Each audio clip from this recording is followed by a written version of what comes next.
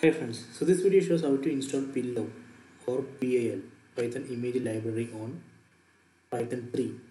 First we need to update repository, just run apt update.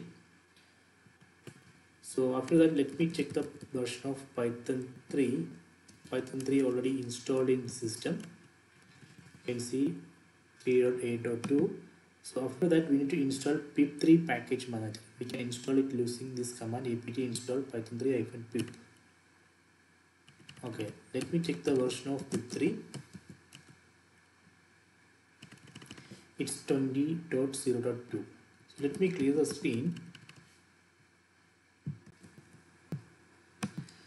Actually on ubuntu we have two options to install pillow or pil so we can run pip3 install pillow or we can use a we can run apt install python 3 hyphen pill.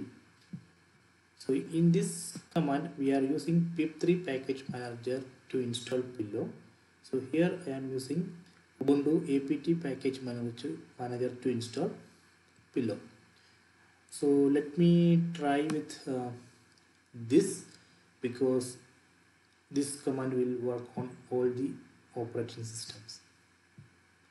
So this is only for ubuntu. So let me run that pip3 install pillow you can see it's collecting. Okay instruction completed. So let me go to python 3 console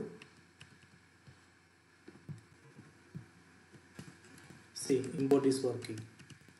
So this way we can install pillow or python image library